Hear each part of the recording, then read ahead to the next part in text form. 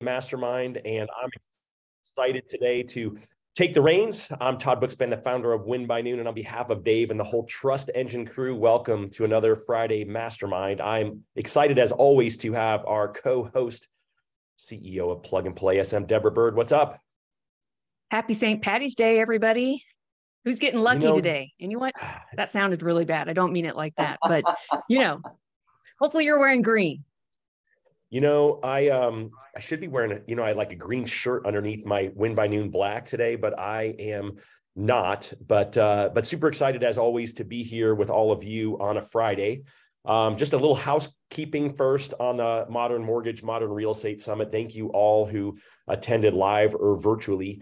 Um, this afternoon, um, mid afternoon, we will have um, to all of you who purchased virtual tickets, you will have your email from the WBN Training Vault stands for Win by Noon, and it'll give you access uh, for uh, a little over 30 days to the content. And then we'll also have the website back up, modernmortgagesummit.com, where if you didn't get it and you've heard how awesome it was, you'll be able to purchase access to it. So be on the lookout to your email. And then the other favor I have of you is if you attended, there's going to be a survey in there. We would love your feedback on how we can, how we did and how we can make it better for next year. And that was a lot of fun, Deborah, hanging out with you in Vegas.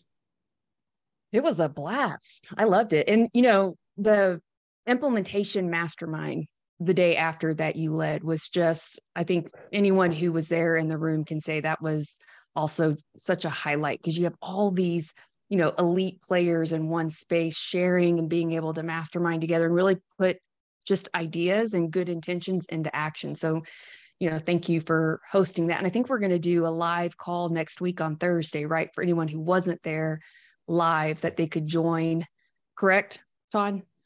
We are, we are. I will uh once uh, we're off and running, I will pull the link from Zoom and I will post it in. So anyone who wants to um, jump on that with you and I, that's going to be uh, a lot of fun just to help folks who want to figure out really whether you attended the event or not. It's just a great opportunity to walk through um, the seven, eight steps of implementation, which is really important. I think people show up to an event like that, go home and just don't carve out the time. And so what I loved about the in-person mastermind was, you know, we had most of the speakers there and, uh, you know, 30 or so attendees. And it was just fun to have everyone in a room, um, really uh, sharpening each other, right? Iron sharpens iron mm-hmm. and really looking at what they could do to be better as we headed out of the event. So it was, it was a personal highlight for me for sure. Yes. All right, so why don't you introduce our guest today? Let's uh let's stop talking about us and let's make it about him. Yeah. Okay, so Marty Preston is joining us today and I just, you know, when I first saw Marty Preston on stage, for those of you who don't know, he is he's a goat, he's a legend in our space. Um, ironically, I want to say it was in 2004 Marty actually traveled to Washington to become the first certified mortgage planner in Kentucky. So you're going to hear a little bit of an accent from him. Um, he's still in production in between his own personal production and all of his offices. They have served over 600 families, according to your website, Marty. So hopefully that's still accurate.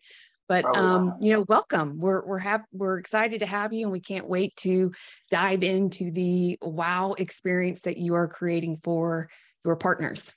Yeah, I'm excited to be here. And uh, your sister texted me this morning and uh, and told me that that I was going to be talking to the world today. So I said, well, I mean that that might overstate the reach just a little bit, maybe by a couple. But uh, if the world if the world wants to to listen, hopefully hopefully it'll help. Like I said before, I'm going to tell you a whole bunch of stuff that that a, a bunch of people like Denise and Wally and Todd and Dave, I remember when I first started in the business, um, I had my, you know, my background as an accountant, and uh, Dave was Dave Savage was actually one of the first people that I was kind of drawn to because he was one of the first people that I heard about who worked with financial planners and CPAs mostly, and not real estate agents. So it's a little bit ironic that the focus today is on real estate agents because when I got started in the business, I actually worked with very, very few agents and more did the financial planning side of it. So, uh,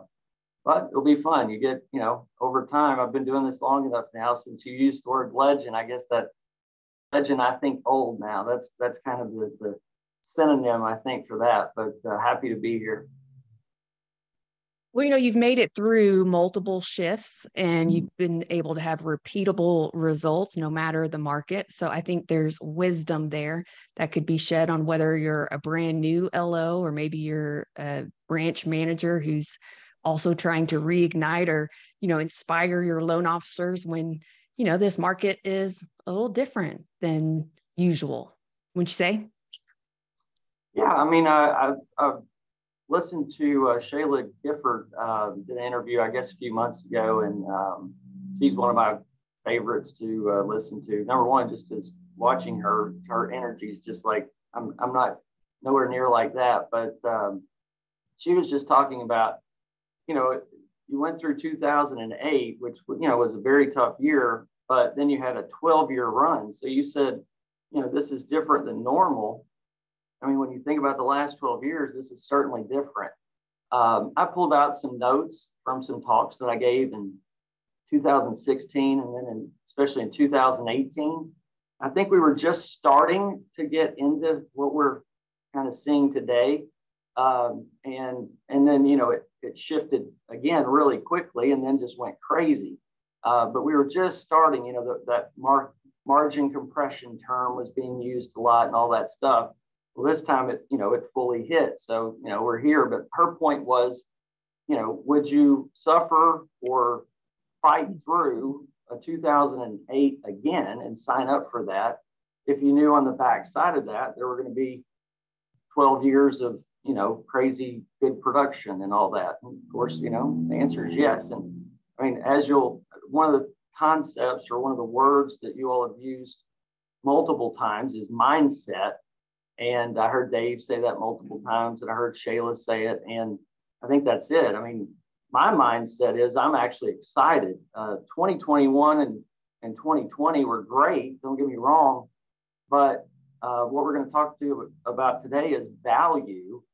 And it was kind of tough to bring value in those couple of years because you know any real estate agent you talk to they had they had all the business they wanted any loan officer you talked to, they had all the business they wanted. Um, you know, so it, it wasn't like there was really a whole lot of value that you felt like you could add. It was, you know, people were like, well, could you get my offers accepted? So we came up with some creative approval letters. I remember saying, you'll never get a, a commitment letter from a mortgage lender. And then, you know, all of a sudden we're writing commitment letters. But, um, you know, outside of a few things like that, it's like, you know, and now it's the exact opposite. Now every real estate agent's like, you got any, you got anything, you know, can you help me with this? Can you, you know, tell me what's going on? How can, and loan officers same way. So uh, I'm excited about, um, you know, being able to come up with ways to uh, excel in a market where, I mean, frankly, most people aren't going to do very well, and and that's okay as long as, I mean, I, I was probably going to save this for later, but you know, the baddest lion in the jungle isn't worried if there's a drought because there's going to be enough for for him or her. And uh, you know, uh, some friends of mine, uh, the owners of Benchmark, have a, a, super ranch down in Texas that have all these unbelievable white-tailed deer that you know they breed and everything else down there. And it's you know the the biggest buck on the ranch isn't worried about how many does there are because there's going to be enough for for him. So as long as you have the value and you can bring that value and share and show that value there are more loans closing in your market than you can do. You know i'm in lexington kentucky. That's not a big market. Uh, last month there were 380 real estate purchases in my market uh, so that's just, you know, that's not a lot, but 380 is certainly more than my team's ever closed in a month. So as long as we get those, we're good. And, you know, I'm okay with only 50% market share. So that's where we are or where we're headed. All right. How awesome would it be to have 50% market share? I just, uh, I just love that. And I think that, you know, the concept is there, right? I think the business, you're right. The business is there. We just have to figure out how to go get it. And I think more than ever, our real estate partners are counting on us, which is great. I mean, we always complain that they're not interested in us, and now they really are. And uh, so I think that's that's the big takeaway for me so far is what do we need to do to get more market share? yeah, and I, I don't know if they're counting on us because I, I don't think they expect a, a, a lender to be able to solve their problems.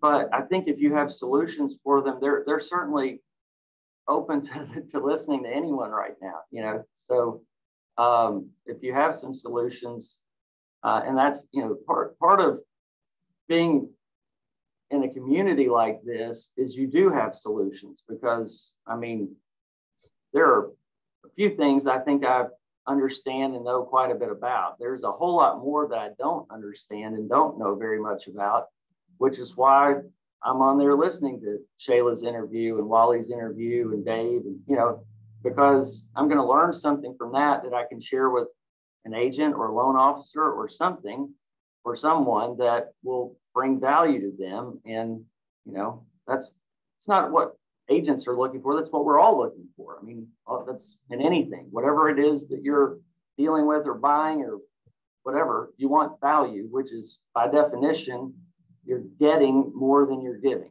So I think if you can bring that, you're gonna you're gonna have it. And hopefully, I can show you a few ideas today that you can use to share some value.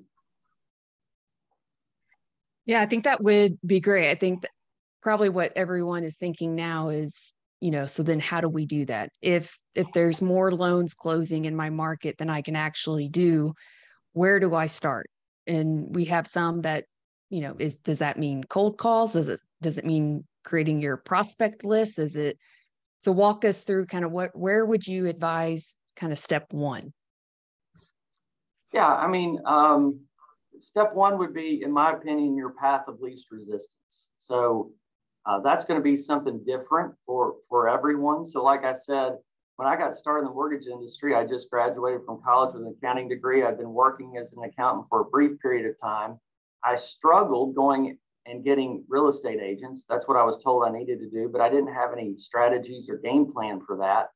And I had lunch with a friend of mine who was working at a large accounting firm, and he literally said, "Man, I wish I wish you could work with our clients because I, as a new accountant, I'm the one that spends all day on the phone talking to lenders, trying to explain to the lender that our client actually does make enough money to qualify for the loan, but they don't understand depreciation is a non-cash expense and all these different things. He's like, if I could just work with, you know, if all my clients could just work with you, you know, that would solve a bunch of problems. And I was so clueless at the time I didn't go, well, send them to me. I was like, yeah, no, I'm being told I need to go get real estate agents. So I, you know, and then maybe a month later, it literally hit me in the shower like, why couldn't I just go get business from Joe?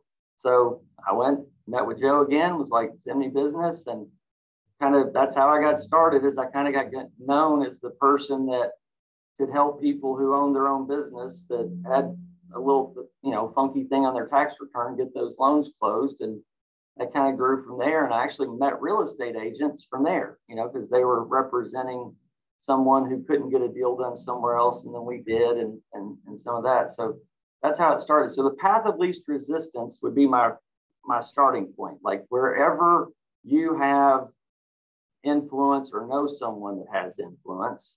And then from there, I would just go through kind of a, a, a little bit of a checklist, which is you know, you do want to make sure that the person that you're meeting with, so let's take a real estate agent, for example. You know, I could spend the next month meeting with three real estate agents a day. And on my report card or whatever I'm keeping track of for activity, that's going to look really good. But the reality is, everybody knows the 80 20 rule. Um, if your market's anything like my market, in real estate, it's more like the 95 5 rule. About 95% of the properties are sold by about 5% of the agents. Well, if I'm meeting with the wrong 5%, I'm just going to spend a whole bunch of time with people that are never going to sell a house anyway. So you do want to make sure that those people are selling enough properties, or at least you think they're going to, because you don't want to exclude someone that's new that's going to absolutely be a killer in two two years or maybe even two months but you, you at least want to make sure they're moving enough properties to where it's worth your time to do it. So I would, you know, there's just a little checklist of path of least resistance. Is their sphere of influence great enough to where I can, um, you know, expect a return on my time and, and investment. And then for me, uh, I know this sounds cliche because I know when I was new in the business, I thought, yeah, right. But please hear this. Um, you need to interview them and make sure it's somebody you want to work with. There's just nothing worse than working with someone that doesn't understand the way or appreciate or value the way you do business. So for me, the way I do that, if if when I'm talking to them and I call it an interview, I don't I don't tell them I'm interviewing them. So I want to be clear about that because sometimes we say stuff on stage and on these calls that I think make us sound cool. And it's like, no, nobody's going, yeah, I'm going to interview you. Um, so, and if they do, you probably sound a little bit arrogant if you did that. So I'm not meaning it like that. But in my mind, it is very much an interview, just not presenting it that way. And what I asked them is, you know, what do you like best about real estate? And I'm looking for them to say, I really like helping people. I really care. Um, you know, like I want somebody to tell me if if if if they did something wrong or a deal fell through or something like that, that it actually bothers them and they feel bad about it. You know, uh, I don't care if they're in it for the money. I mean, let's face it, I'm not going to do this if I don't get paid. Um, but you have to be someone that wants to help people to work with me because I find that people who want to help people uh, fit very well with the way we do business. So um, there's three things. That's usually all I can remember. So I'll stick with that for now. Well, and I think just what you said with aligning your values, there's nothing worse than when there's values conflict. The relationship is always going to struggle. So not only, you know, interviewing them to make sure that there's a, a, value alignment, but then also to discover what do they perceive as valuable? Because there's nothing worse than you know kind of vomiting at the mouth and, and trying to help somebody but maybe you're not actually helping them. Because for some maybe it's a, a lead generation problem but for others it's not a lead generation it's a lead conversion problem or a incubation and nurturing problem. So it's it's always best to ask and to then button up and listen and find what's valuable to them. But I agree. I think uh, also aligning your values is essential. Yeah, and uh, so there's kind of two things here. Uh, your sister has me a little bit of a mindset shift on this because in my mind, there's two types of partners I'm looking for. I'm, I'm looking for one partner that I'm actually going to spend a lot of time with personally. That's somebody I'm going to, you know, maybe even do a face to face, one on one quarterly partner planning session. And so that's like a real business partner. So, like Jim Moore, that we may get to later on, um, like I think the best year we had is we closed 41 transactions together. We helped, we served 41 families together. And at one point I was like over 80%, I think it was 88%, but 80 over 80% of his buyer sides we closed. So when you're tracking conversion, that, that's a phenomenal number. I've never heard anybody close to that, to be honest. Uh, when we do metrics, 25% means they're a partner, 50% means that they're a very solid partner. And, and what I mean by that is if well, the way I usually say it is if, if an agent's sending you 25% of their buyer sides, that means in their mind, they're sending you everyone because what they're really doing is sending you everyone that asks. They're not sending you anyone that's already pre approved somewhere else, but they are sending you everyone that asks. At 50%, it truly means they're trying to send you everyone. And if you get above 75%, it means that they're almost like you'll have you'll have clients come in and be like like what did you what do you have on that guy or what did you do to him? You know like, you know because um like you know because he's very adamant. I had a, C, a cfo come in one time and he's like i'm not using you because you know my company has like millions of dollars at this other bank. But i mean jim pretty much just said like i have to meet you and that you would be okay with that. But I don't want to waste your time. So I'm just telling you, I'm not using you, but Jim wants me to, you know. So if, if you're above 75%, then you've got a partner that's a hyper advocate, is what I would say. So that's, and, but then on top of that, you've got if you're fishing with a net, as Denise says, then you know you can add value to a lot of people without having to even meet with them. Um, you know, you could, for example, oh, you could take an interview like this, take parts of it, share it with agents, and say, look, this is how lenders across the country help real estate agents. This is what you know I'd like to do with you, and and and just take some of that information and share it. I don't think it even has to be you. Um, in fact, I think sometimes there's some value in, in it being someone else. You know, I, I personally, it, it, it bothers me a little bit when I see financial, everybody wants to give financial advice. And, you know, I've done okay financially, but I still feel a little bit funny if I'm like presenting myself as a financial expert, you know, and there's all kinds of financial experts out there. So it's almost like, why don't I just share that video instead of, you know, they know it's coming from me. So I think we make it too hard by, by thinking you've got to create all this content yourself sometimes and all that. I think I think if you're just sharing value, they're going to get something from it, and that that's the key. Like they don't care if it came out of your mouth. I don't. I don't think that's my opinion. But, so. No, I love that. It's all about reciprocity, right? If you're, yeah, I agree with you 100%. You don't have to be uh, the smartest person in the room. You just have to present them with the smartest available knowledge that you have, and they will remember it. So that's awesome. Yeah, I mean, you may need a translator for me. Uh, you know, so certain people can understand my uh, English, but uh, as long as they can understand what I'm saying, it'll be good. No, I agree. I think um, one of the things shared at the summit last week was so Denise will do an expert series and she does a different expert series, whether it's for her database of clients who have already chosen her. And she's trying to retain and maintain those relationships and deepen in them, not just the ones that are only interested or raising their hand and buying, which I think is important.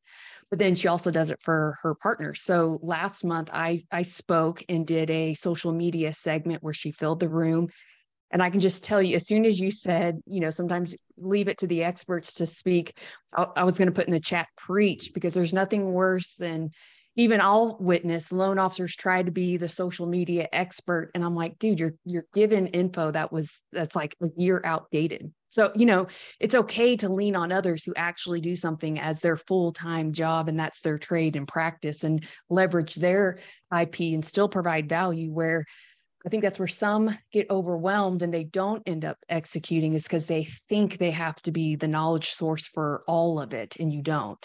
You know, leverage out other financial advisors or CPAs or divorce attorneys and let them come speak and provide value.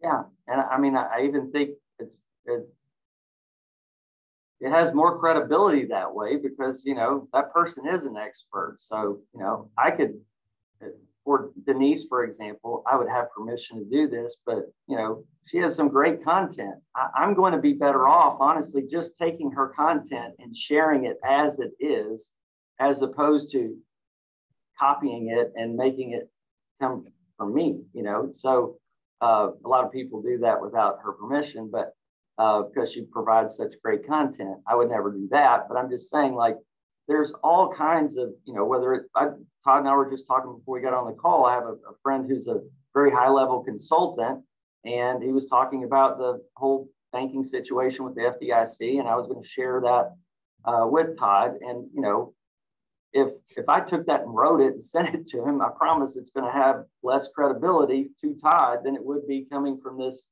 expert that works with banks all the time that really understands what's going on. It just you know, you don't have to be be the best at everything. And frankly, everyone knows you're not because no one is. So nothing wrong with just saying, hey, this person's really good at this. Here's what they said. So speaking of great presentations, you've prepared something for the crew here. Do you want to uh, jump in on that before we hit uh, yeah. the next 30 minutes? And we're having so much fun, but I'm like, all right, I know Marty's prepared something. I want to make sure that we uh, honor you and make sure that you have the opportunity to present that.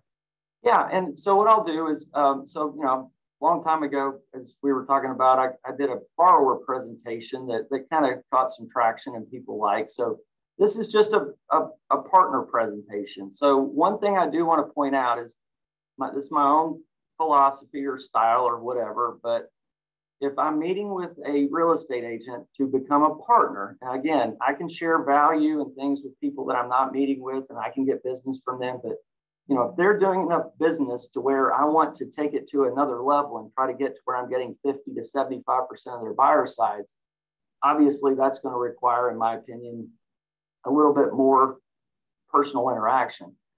The first meeting I do with them uh, I'll do it a neutral site, restaurant, usually lunch, because I'm not a big morning person. And uh, I don't bring any presentation like this. So I want to be very clear. In fact, I make it a huge point to not sell anything at all in the appointment. And um, you may think that's a waste of time, and, and for all, I don't know, maybe it is, but it drives them crazy. And my thought is, is it's kind of like the dating uh, analogy. It's like, you know, they expect a, a, a, lender to come on pretty hard right at the beginning and, and you know, uh, you should use me because of this and this and this. And I've just seen it happen now over 20 years or more like 19 since I've kind of started learning this stuff is if I just kind of take that high trust interview approach and I'm just asking them questions and I'm I'm intentionally not selling myself as the lunch goes forward, it, it's almost like they're like, okay, wait a second, this is weird. You know, like, do you not like me or am I not pretty to you? Or, you know, like everybody else is just like throwing stuff at me from the beginning and you, you haven't even asked if we want to do business together yet. And I've had it happen where, you know, by the end of the lunch, they're almost asking to do business with, with us. And I've actually had it happen where they are. So um, it's just a mindset, you know, back to that word again, it's just a mindset difference. But, and then at the end of the lunch, if there's a value match, then what I'll say is, and this is just my script that I go through, is I would say, hey, Deborah, you know, here's what I think we could work well together. I think we could have fun. I think we could make a lot of money. And, and most importantly, I think we could make a difference. What do you think? And it might not be 100% of the time, but I can't remember when somebody didn't respond with, yeah, I think so too. And what's funny is, I just told you, I've still not shown or said anything to them about what we do, how we do it. We haven't talked about customer service. We haven't t- talked about rates. We haven't talked about anything really except them. And I say, What do you think? And they go, Yeah, that's what I think. And I go, Okay, well, listen, here's what I'd like to do. I do believe that we do some things differently and that we excel in a few areas. And I would really like to show those to you. So I'd like to go ahead and schedule a time for you to come by my office and we can invest about 30 to 45 minutes so I can show you a few of the things that I think we can do different that may be able to have an impact on your business and your clients. And they go, that sounds great. We schedule the appointment. Okay.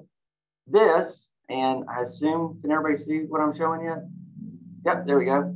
This is what I show them. So not this part because this is more for you all, but what do agents want slash cut out need from their partners? So value. So there's three really big things that we talk about. One is how we're going to help their clients. And I think this gets lost a lot because um, we focus so much on value to agents that we forget the client does still drive the, the ship. And if you don't believe that, just ask an agent why they didn't refer you more business and they'll say well the client already had this that or the other. If the if you provide enough value to the client then the agents will refer you more. So the, the next thing is they want some help. They want business planning or strategies or, or or leads or whatever. And the number one thing they want is right here money. Um, now, you can't just give them money legally, of course, but it is cash, so you might be able to get by with that. But if you can refer them enough business, so um, you know, Wally a couple months ago, and, and of course, Wally and Denise and I now all work together, which is unbelievable because now we have, you know, works out to where what she's phenomenal at, I suck at, and Wally's phenomenal at certain things that I suck at, and then I'm pretty good at the financial part of it, and, and I can help them, and it's been awesome. But um, you know, what everybody really, really wants is how can you help them make more money? And Wally said, I think if I remember in his last interview, that they referred out over $2 million in commission to real estate agents, financial planners, family will attorneys, and things like that in one year. Well, imagine just that. If you just went to a real estate agent and go, my team refers out to over $2 million of commission a year, uh, we're going to, at that point, you could say it's an interview. We're going to interview you to see if you're going to qualify to get some of our referrals. And people will be like, okay, that's a good deal. All right, so I'm going to go through this quick. You know, we send them a video because Denise is helping me. And, you know, you don't have to meet everybody and say the same thing a hundred times. You could actually record a video that shows what your client experience is. And then you could send it or just share it with agents or show it to agents. And then I could have 500 agents see what that is without having to meet with them. So you can have a video of the client experience. And let's see, click through. Oh, this way. Um, obviously, reviews. Uh, I like this one because we highlighted some certain things. So we'll show that to the agents. He says, team is very informative on current trends, risks, and opportunities. I'll ask the agent at that point, like, how many of your clients have that reference, you know, after talking to a lender? Like, you know, they had good closing costs, they had low rates, but you know, how many of your clients say that the lender that they worked with has been very informative on current trends, risks, and opportunities in the market? Best methods to finance a home based on physical and, finan- and family situation, and enthusiastically help even if the result is no action. Great firm to work with. Uh, this one is my favorite of all time because the guy calls me a financial wizard. Uh, so that's a that's a fun one. And this is Jim Moore, the agent that we talked about, who just says that he wants his clients to have a great experience and all that. So we show that to the agents so they can see third party endorsements. Okay. And then we want to tell them some things we do, like guarantee our rates and closing costs and guarantee approval letters and guarantee closings won't be delayed because if you're a real estate agent, you've probably had all those. We share with them all the other things that we can do. And the last one's my favorite. Anything else that you would like to discuss? But, you know, we'll help clients find out about how to save on their current debt or plan for retirement or children's education or tax strategies. There's over 20 types of insurance involved. And, you know, we'll help them with all of it. And of course, we're going to talk to them about a total cost analysis, personal financial plan, stuff like that. And I think I can pull this in. So an easy one that we do is just quick total cost analysis where, let me get this over. I think everybody can see both sides of that. There we go. Um, you've got one client's putting down 200,000, one's putting down 100,000. There's an extra 100,000. And we're just showing them that if they invested that other $100,000, everything on the mortgage looks terrible. You know, I'm paying more per month. Everything looks bad until we look at the end of the term. And if I'm only getting a 7% return on my investment, my net worth is over $800,000 more by not putting that extra $100,000 down on the mortgage. So we just show them stuff like that. This is a thing that I got off of uh, Ramsey Solutions. I'm a Ramsey Solutions. Uh, it's not certified, designated master financial coach. So I have some access, but this one, this one still blows my mind. I show it to every client that you know. Ben invests two thousand dollars a year for seven years, and then never invests after that. His brother Arthur, Arthur picks up at 27 and invests all the way to 65.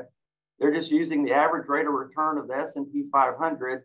And Ben, who invested substantially less, still has $700,000, $750,000 more in investments. So, you know, we just let them know that we're doing some personal financial strategy stuff. We customize it to them by asking them questions. Uh, we talk to them about rates. And before I segue into that, you all have anything you want to ask or highlight or emphasize on any of that stuff? This is kind of a segue from personal finance into kind of rates and education stuff like that, but it's still on the, you know, really all this is still what we do for their client. which then creates value for them. Yeah, you know, I just love it. So, I mean, you you walk them through it sounds like a fairly choreographed process when a client comes to your office so you're not just winging it every time they come in no it's very choreographed. You know it's always customized to them because everybody has different you know assets different income different debt structure. So it's always just like every TCA you've ever done it's it's always customized but it, it is also at the same time very structured. And the way it all started is i would forget you know, I would, I would have, I would, I would think I went through that part with that client. And then I would, you know, there would be something come up the week of closing that was a problem. And I'd be like, well, I guess I forgot to go over that. So it was more of a reminder, just like if I'm on stage giving a talk, the, the PowerPoint's oftentimes just a, a place setter so I can remember what to say next. And it, it kind of started that way uh, because there were important things that we didn't want to leave out. And um, you know, now if we're not meeting a client face to face, we're doing it over Zoom or whatever. And instead of showing them a PowerPoint presentation, what that's enabled is me to actually just pull up third-party sites, which actually provides even more credibility because you know, if I'm just pulling up a site that you can pull up on your own, I stole this from Denise too, like um, the um, loan level pricing adjustments. Like I can put in here, like you'll see in a slide in a second, what the loan level pricing adjustments are, but if you're a skeptical person, you're going to kind of wonder about that. Whereas if I just show you that I just pulled up Fannie Mae's website and show you how to do it and you can read it for yourself, you can't be skeptical about loan level pricing adjustments anymore. So that even allows us to, to kind of, so now instead of just showing them a PowerPoint like we used to, we'll actually pull up third party sites and, and show them stuff, whether we're in the office or on a Zoom call. But it's definitely choreographed. And, and what's the time frame of that? Is it a 30 minute hour? What's that look like on average? It's one of those two. It's 30 minutes, and it's always kind of depending on the client and what they get into. So um, that the slide I showed you a minute ago, more than a mortgage. We used to try to hit them with all that at once, and uh, two reasons we stopped. Number one is it took too much time, uh, but more importantly, you can't hit everyone with everything at once. Uh, you know, they're already buying a house. That is stressful enough. I've bought several. And the truth is, even when I buy a home, there is a part of me during somewhere in the process where I go, eh, did I do the right thing here? And I kind of have to remind myself that I've already kind of done the due diligence. But, you know, everybody is a little stressed over that. So if I hit you with you need life insurance and a will and a mortgage and everything. And I hit you with all that day one. You know, a lot of people, maybe not everybody, but a lot of people are going to freak out. So we, we kind of shortened it because, and then at the same time, that also provides value on our post closing and our, you know, client care process, which is mortgage reviews and things like that. Because now we, one thing people ask me all the time is, you know, when you call a client after closing, what do you talk to them about? Well, anything. You know, you can talk to them about what whatever their needs are. So just ask them, you know, if you ask a client about college education planning and they don't have kids, they'll they'll tell you they don't care, you know, so that gets pushed off for later. And what and I think it's great too that, that you oh go ahead. No, okay, real quick, and then I'll let you go. What percent of your clients is Zoom now versus live? Um, you know, I'm still about 75% live. Uh, I'm back to 75% live. Um, I used to be really strong on this. So, like, if you met me at a seminar and told me that, you know, your clients wouldn't come in, I would usually have a comment like, you know, Kentucky's football team's not very good, but they still have 75,000 people show up every week for a mediocre football team. You know, they'll show up if they understand that it's valuable enough. And I believe that, but I've also been in Dallas a lot more lately, and I've also driven around Dallas a lot more lately. And I mean, you know, it does take a pretty strong commitment if I have to drive two hours to get to your office. And and I can I can understand that.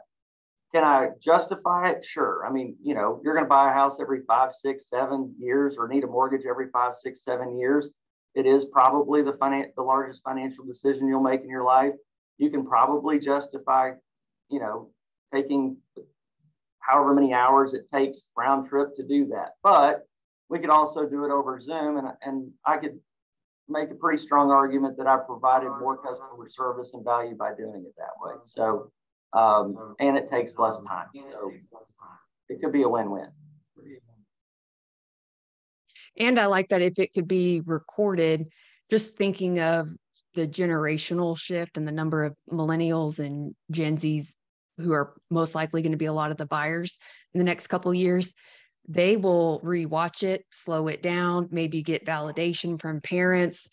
It's really hard for them to remember. I think they say after two weeks, you only remember about 2% of what you've been told or shown. But when you can rewatch it and make it interactive, there's a higher retention rate. So I, I like when it's Zoom and you can you know do that as well. But i do agree. I think sometimes the live allows you to just read energy in the room a little bit better. You know sometimes when you're on zoom and the internet's not good it's like uh, uh, uh, you know it can sound weird. So there's there's some people who want to come in and then there's some that that would create friction. And if they have to schedule a time well then they may never book. And so then you miss an opportunity because there's someone else that will have more digital process and less friction and you know someone will go that route so yeah. benefits to you both. just gave me an idea I had to write down because I mean what you just said is a great idea because a lot of times you do deal with that where you know they're getting in, influence from someone else and that's one one of every lender's frustration is is it's like you know I've got them sold but all of a sudden dad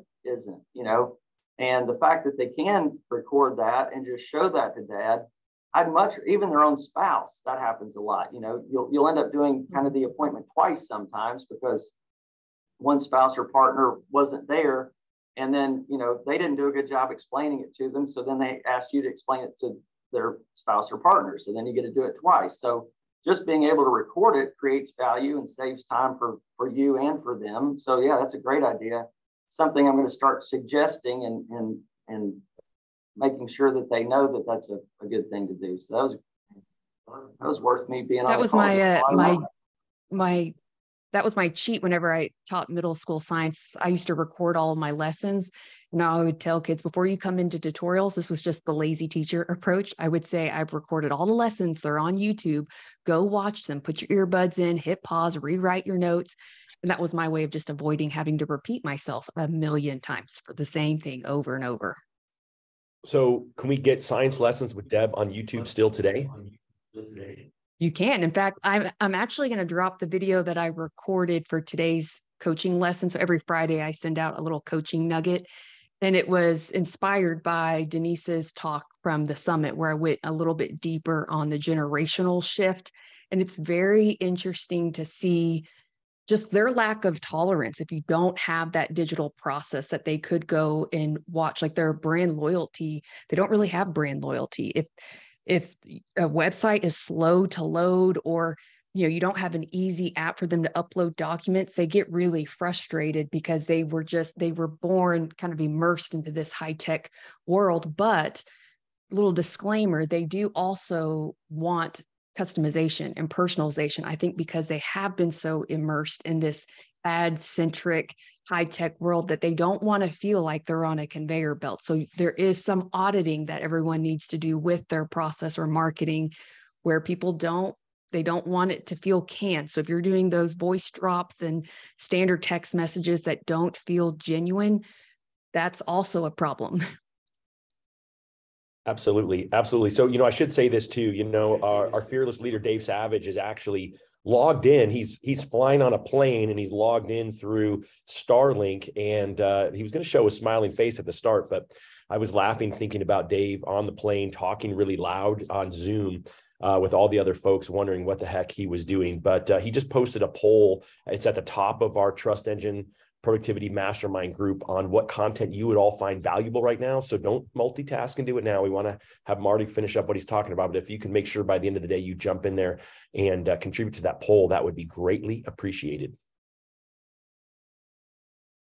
Awesome. All right, I'm going to show you one quick thing, and I'm happy to give you the slides for that matter. So um, that would be awesome. I was taking some pictures, but I missed a couple of them, and I have a full page of notes already. All right, so this to me is like the, uh, this is the, the main point. So in getting in a, remember the number one thing everybody wants is money. And so what we ask the agents is if I could refer you one client for every client that you referred me, what would your business do in the next 12 months? How would your business grow? Most agents, not all, but most agents will quickly do the math and go one to one would be two, it would double. And that's the answer that I hope that they give. If not, I'll probably give them a little help and try to get them to kind of say that. But I want them to verbalize it like, well, if I referred you everyone and you referred someone back to me for every person, then my business would double. And then I will quickly point out that that's accurate as long as they refer me everyone. Because there are two big differences. One is getting an agent to send you business. But one of the things that we track very well is conversion from referral partners. And out of oh 30 some loan officers that that I help in one way or the other, most of them have the max number of referrals that they've received from a real estate partner year to date is two, three, or four. Okay. That's not closings, that's total referrals. But they've got a lot of realtors who send them two, three, or four, and they've got a whole lot more that sent them one. Okay, which in my opinion is a very inefficient, uh, stressful, pain in the butt process because you don't have a process because you got a whole bunch of business coming in a whole bunch of different ways. Okay. Denise is phenomenal at being able to educate her agents on how to send her business. In fact, almost every email I think that goes out to an agent at the bottom has a instructional video and text that says here's how to refer us, even if the video or even if the actual email is about something else. But most of us aren't thinking that far ahead. So then we just kind of react to the agents and we don't we don't have a process. But then I share this stat with them. 88% of homeowners say they would use their real estate agent again, but only 17% do. One of the major reasons they don't even know the person's name. So that gives us an opportunity to help them. And just like you all are thinking right now, when I said if I could refer you one deal for everyone you referred us, you know, what would that do? You're thinking, yeah, but how in the world can you do that? Okay. And here's how. Well, so there's this thing called Net Promoter Score, which Harvard Business Review thinks is pretty cool.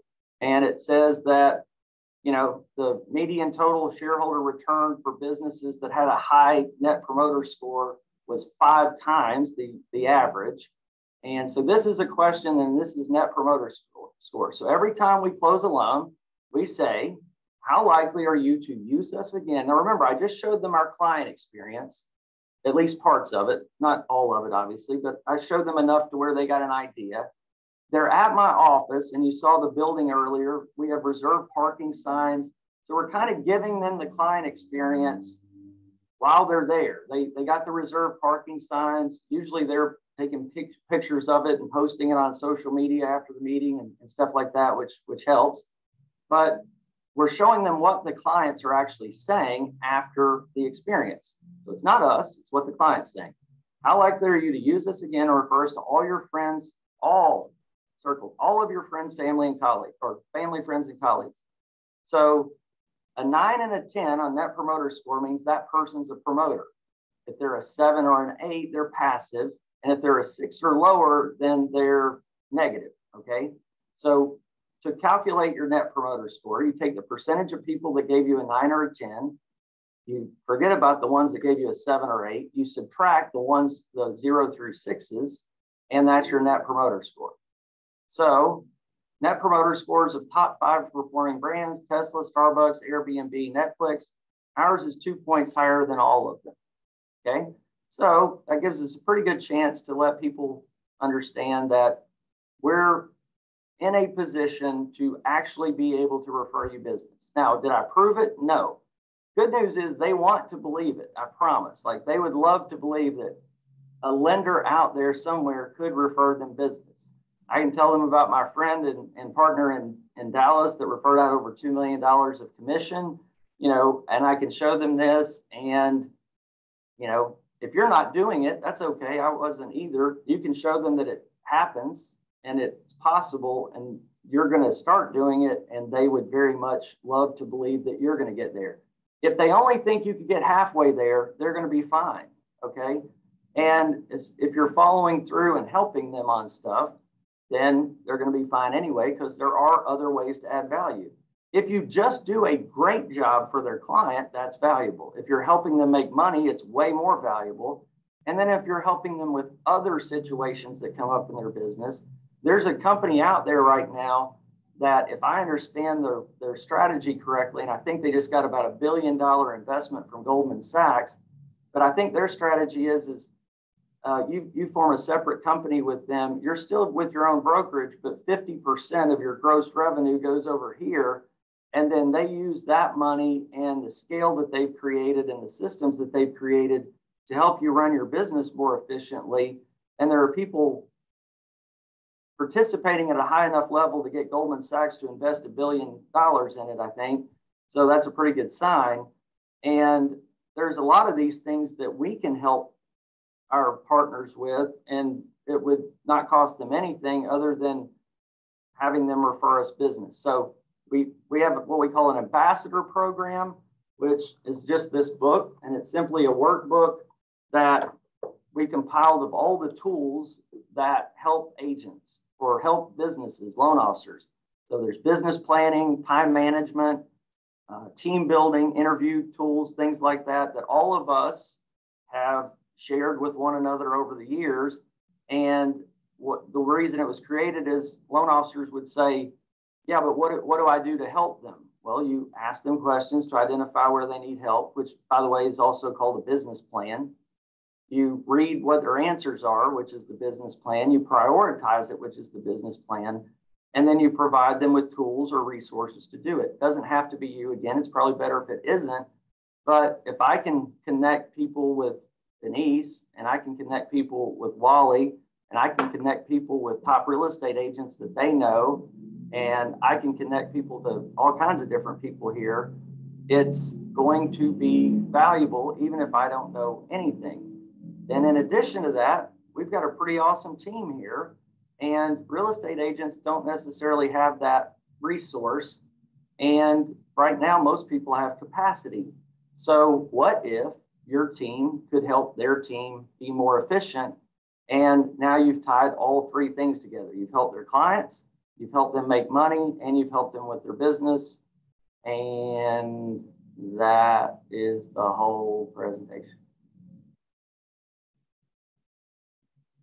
That was awesome. Like truly awesome. I mean, I, I think that a lot of people watching this their heads are kind of spinning but you know you said a lot of things right? You're all about collaboration. You said this is what i've put together over time from you know from being around. And so i always want to point that out right? That's one of the beauties of this community is that we do have uh, great contributors like you marty who come in there and collaborate. So remember that. If those of you who watch the modern mortgage summit shayla kicked it off and said r&d rip off and duplicate right we're all we're all pretty good at that and um, it's what I love about the about the industry. So I appreciate you sharing that because I think there's going to be lots of people who either watching this live or watching the recording who are going to figure out how to uh, duplicate what you've presented here with their with their clients and partners. So thank you. Yeah, absolutely. And you said earlier, welcome welcome back to the community. I, I've been watching. I just figured like like me, I would much rather see Denise and Shayla and people like that on there as me. So I was like, well, they Wally too. So you you know I was like, I'll I'll fill in this week, and then you can get back to the A team. oh, you know, you're the A plus team, my friend. Well, well Denise thanks. gives a lot of her credit to you, Marty, because I know you've been her business coach for the last year as well. And, you know, I just want everyone to also realize that there was a lot of detail, like every, what is that saying? Every stone left unturned, or however that no saying goes. You, there, there you go you can tell when you're that thorough up front. It's almost like when your clients fill out a very thorough 1003. It just makes the process much easier where you don't have to then try to remember, oh, did I did I tell them this? Because this is where it backfires, or this is where we're getting emails in our inbox because clearly this expectation either wasn't set from the get go or we weren't thorough enough to educate on this piece. So it's almost, you know, planning with the end in mind, which creates that Chick-fil-A process where you don't have those bumps. And at the end of the day, that's what your agents and clients want. Like everyone wants a home, nobody wants a mortgage. And for some reason, we've made the mortgage process so clunky and complicated and almost also not realizing it's an emotional process. And so yes they want the home but they want to know they can afford the home. I mean if you have four kids i know marty has four kids i have four kids it's like can we with the cost of inflation and groceries and college and sports if i make this decision there's that fear of can i afford it? And then what if i can't and so, how are you helping your clients not only during the process, but I think what's even more valuable and where most of the heavy lifting starts is the day after closing, because now you're helping them manage the largest debt that you help them create, where most can't even fathom like a car note, let alone a mortgage for 30 years. So, I think this yeah. was excellent. Thank you, Marty. You, you just hit a huge point. That's more on the borrower side of it, but, but if you do nothing more than add one step to your client presentation, which is help your client see, show them. That's why I put show me. We, we just, we have a new office in Kansas City, and that's Missouri, Kansas and Missouri, but I think Missouri is known as the show me state. But if you show them that they can afford the house because they don't know. They don't know anything about debt to income. I could say your debt to income is 80. That's good. And they'd be like, okay, good. But if you show them in their budget that they can afford the house and that it's not going to change their lifestyle, the phrase I hear a lot is, I don't want to be house rich and cash poor. It just means, can I go on vacation? Can I eat out? Can I eat out at a nice restaurant? You know, like that. It just means, really, am I am I going to regret this down the road? And if you can show them that they're not or how they're not and and, and structure a loan in a way to where they're not then uh, that alone will make a huge difference so i had a conversation somebody asked like what percentage of your business right now should be client based and i think the answer I, I, I saw was well in a market like this it's about 15 15% and uh, mine's 65%. That is awesome. So that why, is awesome. So why is that? You know, it's like, well, I think it's because the process we take the clients through. My my hope, my goal is that the process we take the client through compels them to share the story. Just like we've all been compelled to share our experience, over something, my hope is that that process compels them to, if we did that, then we did everything we could do. And in fact, that goes back to the partner. That's the number one value I can provide for the partner is to create an experience where their client feels compelled to share the experience. So that's it.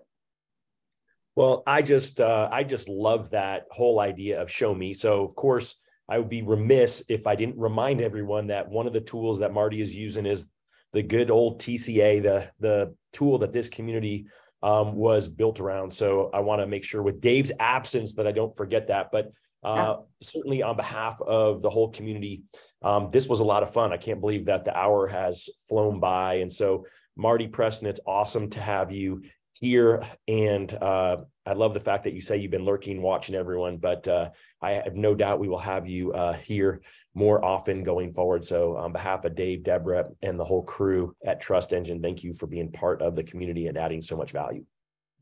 Thank you all. Appreciate it. Thanks for creating a tool. Amazing.